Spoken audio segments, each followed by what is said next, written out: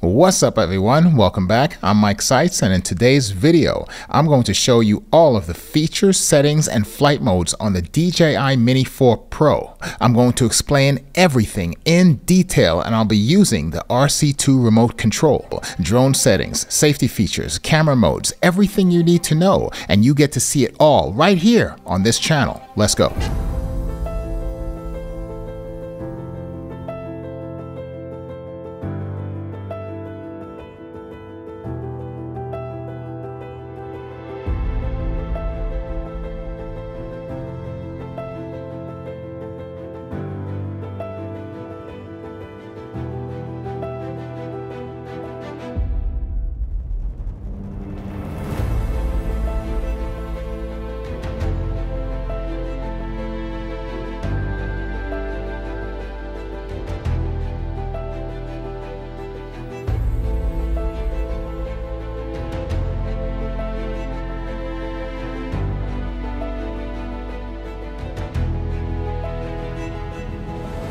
The DJI Mini 4 Pro and the RC2 remote control have so many features, settings, and modes, and you probably know a few of them, if not all, but the problem is that they've never been fully explained in detail until now. So let me give you a brief overview of the features before I dive in. The DJI Mini 4 Pro is DJI's most advanced mini drone to date under 249 grams. It features a camera system with a 1 over 1.3 inch sensor. Now, you hear that all the time, but are you aware that it's not actually a 1 inch sensor?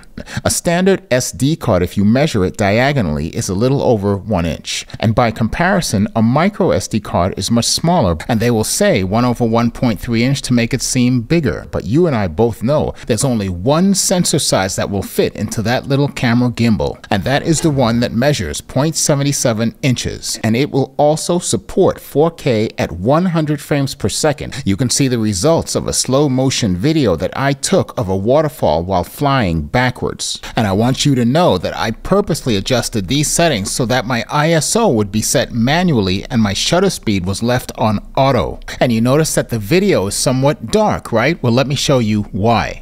Here's the simultaneous screen recording from my RC2 remote control. Notice when I change the ISO manually that the shutter speed will change automatically. It's trying to maintain a consistent image and no matter what you do with the ISO manually, the automatic settings of the shutter speed will continuously try to compensate by adjusting the value so the image will remain the same. The valuable information that I just gave you means that all settings need to be set to manual so that that way you have full control. And let me give you a bonus tip also. Whenever you're shooting in slow motion, that means that you're capturing more frames per second. And more frames per second means that there's less light being captured on each frame. And less light being captured on each frame means that the overall video image will be darker. So you have to adjust your ISO and your shutter speed accordingly in manual mode. This will allow you to have the best exposure value for your video.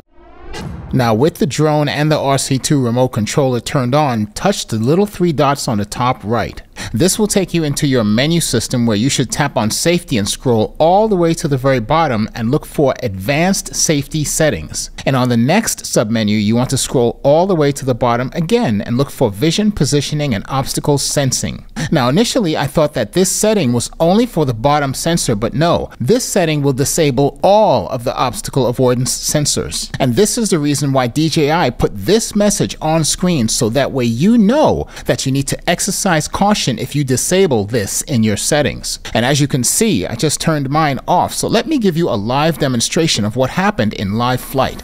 Okay, so what I'm trying to do is to confirm that it's not only just a downward facing sensor that's disabled, but it's also all of the other sensors. Let me check the back and see if there's anything on it. Ow, that hurt. yep, it really did. And now you know why DJI put that cautionary message up. So what am I going to do right now? I'm going to turn that feature back on. And I also realized that it was difficult to land the drone smoothly and safely with that feature disabled. And I've just turned it off again because I need to have confirmation of certain settings that I forgot to mention. If I go all the way back up to safety and I scroll all the way to the top and look for obstacle avoidance action, you can see it's allowing me to either bypass or brake, but it is not turning off this feature by default, such as it would if I were, for example, in sport mode. These options would simply not be available, but they are when vision positioning and obstacle sensing is disabled. So again, I recommend that for this setting that you have this setting enabled, double check it and make sure that this setting is enabled at all times.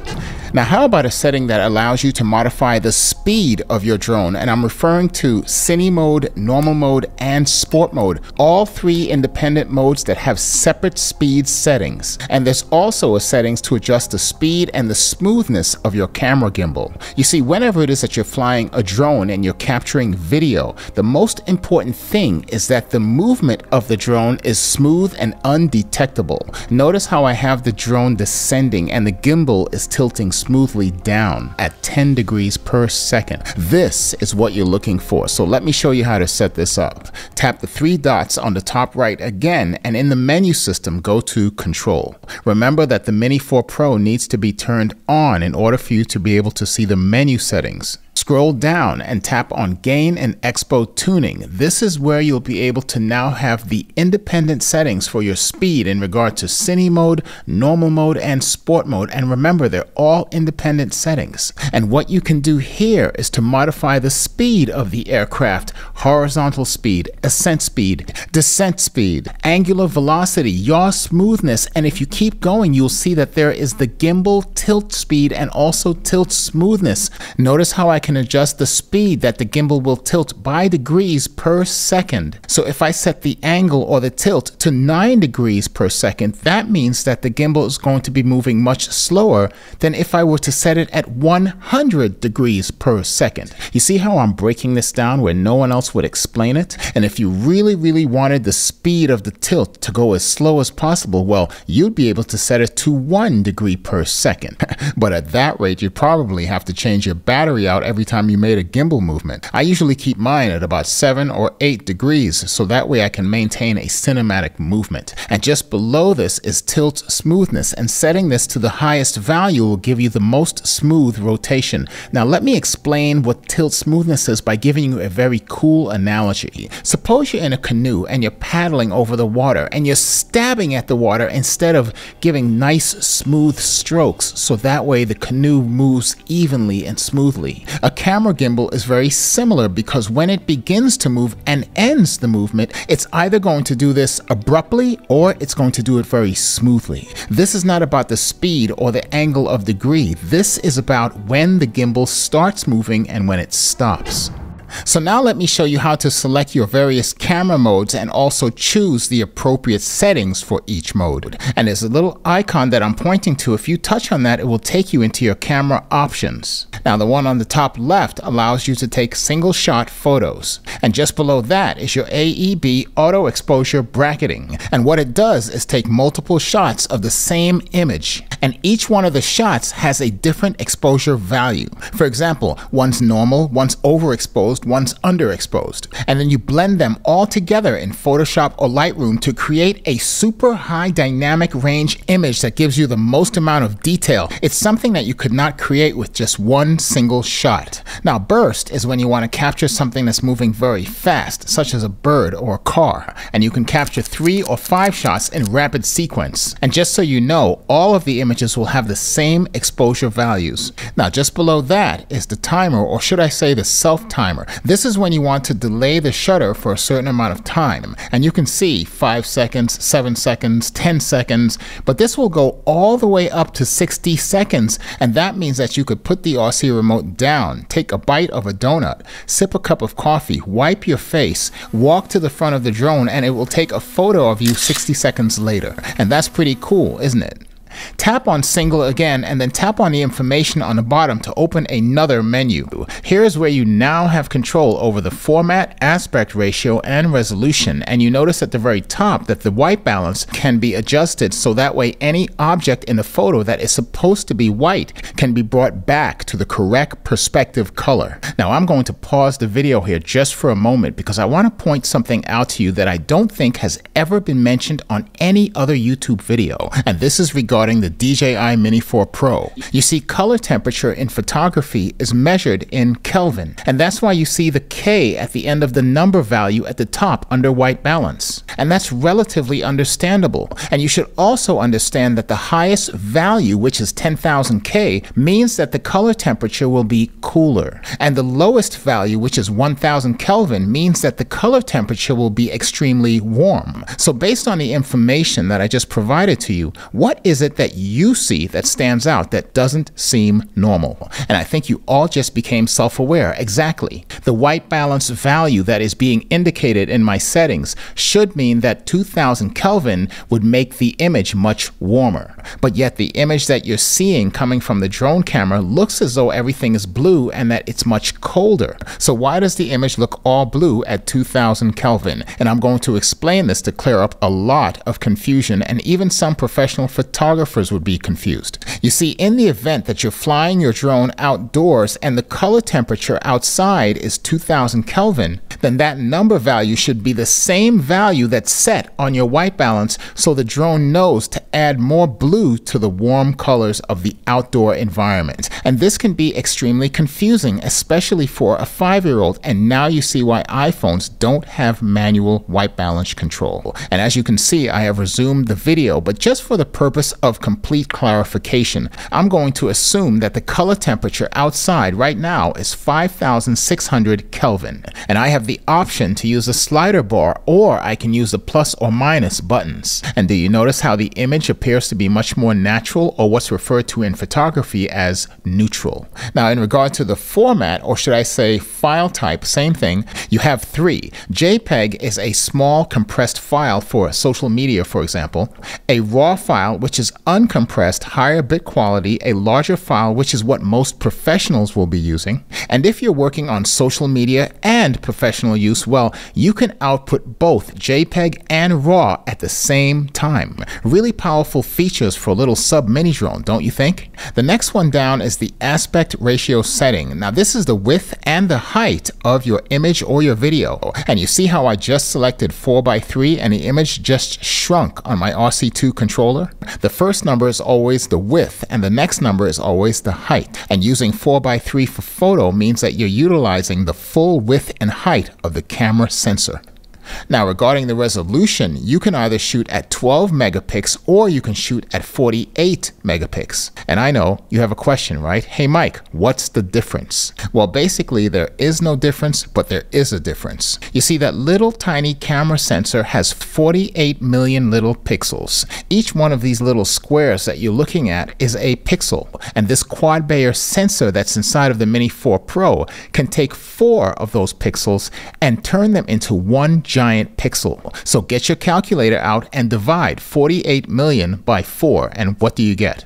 you get 12 million, 12 megapixels, and the sensors are bigger. And I know your next question why are they doing this? Well, here is the fiesta resistance of the explanation. It's because of lighting. Everything in video and photography has to do with lighting. Lighting is the most important thing. And when you have a sensor that is very big, it's able to capture a lot more light. So if you have a very dim, low light environment and you want to capture video, all you have to do is to switch your camera over to 12 megapixels so it can be able to see in the dark much better than it would be if you were at 48 megapixels. The 48 megapixel setting is utilized when you have sufficient lighting and you want to capture as much detail detail and quality in the photo as possible. And lastly, you can decide where all of these images will be saved to either on the SD card that's inserted into the drone or the drone has 2 gigabytes of internal storage. You can store it there also, but I would prefer to do it on the card. You see, I have a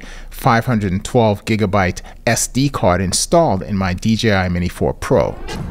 So now that you're so well versed in photo modes, let's discuss video modes for resolution, frames per second, and format. Tap on the little icon again and switch over to video. And remember, you also want to tap on the information below to pull up your mode menu. Now this seems very familiar, doesn't it? But this is only for video. And keep in mind that your photo settings that you just stored are completely separate from this. Now the Mini 4 Pro offers two types of video resolutions, 1080p and 4K. And you can see as I'm speaking, I'm running through the frame rates per second for 1080p, which goes up to 60 frames per second. Now, if I switch over to 4K, you'll see I'll run through the frame rates at 24 frames per second, 25 frames per second, 30 frames per second, 48 frames per second, 50 frames per second, and lastly, 60 frames per second. And a common question here is why would I shoot in 30 frames per second at 4K when I can shoot in 60 frames per second? Well, a 30 frame per second video means that the file size will be smaller. But if you shot the video in 4K 60 frames per second, that means you have an option of being able to slow it down slightly and it will appear to be much smoother.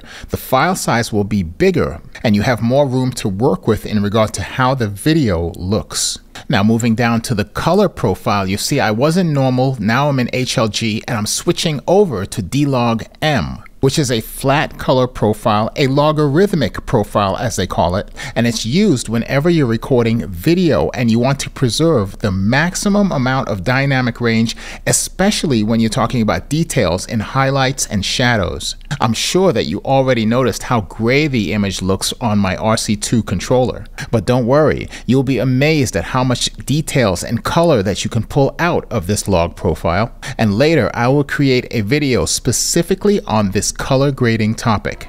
Now tap anywhere on the screen and go back to that icon to pull up your menu again and this time switch over to night mode. And this is an intelligent video setting that uses a higher value ISO and applies noise reduction. Tap on 4K 30 at the bottom to pull up the frame rates per second. And you can see that for both 1080p and for 4K that there are only three choices, 24 frames per second, 25 frames per second, and 30 frames per second. Now, it's very important to understand that night mode only works in normal mode. It will not work in HGL or D-Log-M. So you'll need to make sure that you are in the normal color profile before you switch over to night mode. And last but not least is slow motion, which we covered earlier. The most important thing here is that you need to switch over to manual mode so you can adjust your settings accordingly in regard to the ISO and the shutter speed. If I'm utilizing the auto settings, then that may be sufficient for certain lighting conditions, but in other lighting conditions, you may need to switch over to manual settings so you can adjust accordingly to get the best picture possible in slow motion. And in regard to frames per second, 1080p will give you 100 frames per second and 200 frames per second, but 4K you can only shoot in 100 frames per second. That's it. And I hope this video was helpful. I tried to give you detailed explanations because normally these things are just not not explained to you, I will be having more of these videos, so make sure that you hit that subscribe button and give me a thumbs up if you like this video. Keep climbing those mountains. Remember, everything is a learning process. Until then, I will see you all on the next video.